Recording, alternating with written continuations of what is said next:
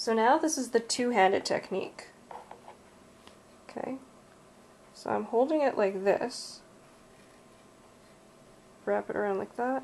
You can hold nothing, you're holding nothing, but then you pass yourself this, and you loop it around like that, bring it around like that. So now you end up like this position, and you're holding it like this. I'm exaggerating, but I'm just trying to show. You go like this, you hold on, pretend there's, there's, you're holding on to nothing, but you're just doing this so that you have the right orientation. Then you pass yourself the suture, you bring it around like that, and you pull. So what you should end up with is a nice little right there. Okay, well, let me just bring this here like this. And it should look like this.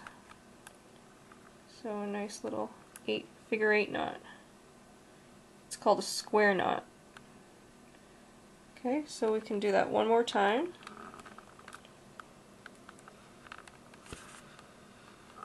Do that one more time.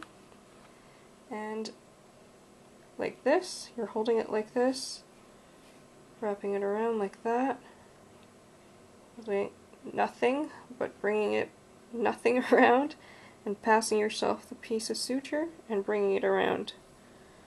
Okay, and you're going to wrap it around like that. And so now you end up like this, and you're holding it, wrapping it around like that. Okay, then you're holding nothing, you're just bringing your finger around. This is an easy way to do it.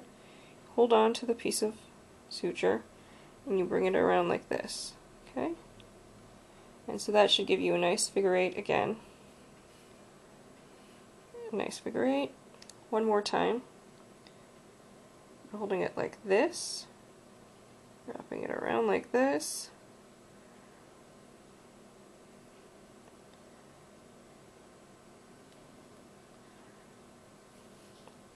Then you pull.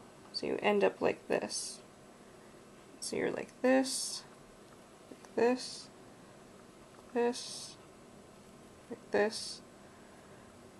And the entire time, I don't have to let go of my left hand if I don't want to. So it could end up looking like this.